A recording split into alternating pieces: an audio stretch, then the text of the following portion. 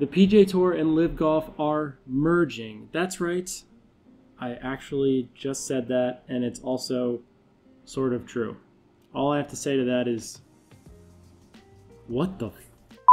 I mean, you guys, nobody saw this coming. The players found out at the exact same time we did, which is both hilarious and also really sad.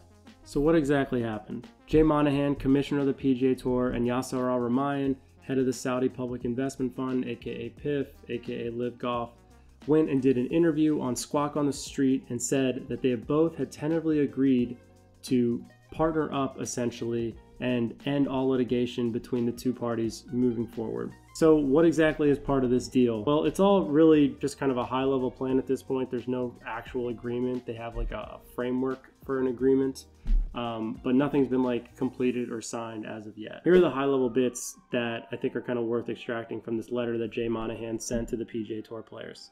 He said, through a framework agreement, the Public Investment Fund, PIF, is contributing its golf related commercial businesses and rights, including LIV Golf, along with a significant financial investment toward minority equity ownership of a new collectively held for profit LLC. This new entity, named TBD, will also include the PGA Tour's commercial businesses and rights as well as those of the DP World Tour. So basically, they're creating a new for profit company that PIF is going to have a very large stake in. But Jay is going to be made the CEO of that company and it's going to kind of be an umbrella company that's a for-profit company for the DP World Tour and PGA Tour.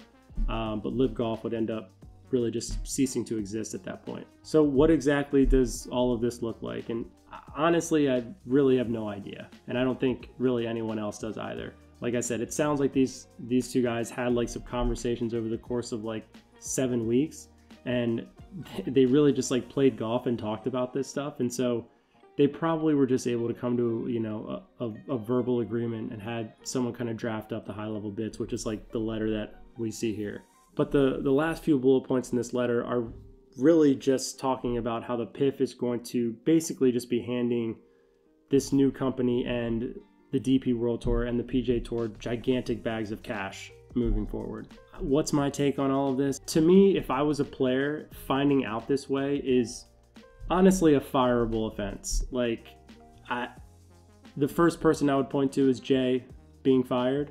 Uh, it seems like there's some players who are defending him and like can understand his side of, of things.